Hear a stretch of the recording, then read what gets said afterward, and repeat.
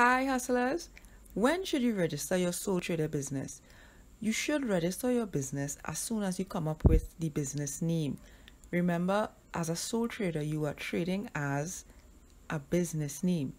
The important thing here is the name, and you should do this registration before you make any social media pages.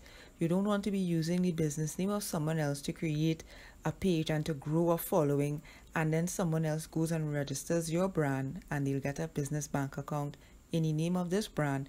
And now customers would think they are the legitimate business owner because they will have the name on paper. You will just have the social media handle. You also want to register your business name before you make a website. So before you purchase the domain name or you start to look for hosting, you want to ensure the business name is not being used by anyone else. You want to reserve it for you and you want to register that business for you. It's also wise to register your business before you make any signs to put on your store, to put on your shop, because you don't want to be advertising for a business that is already registered by someone else.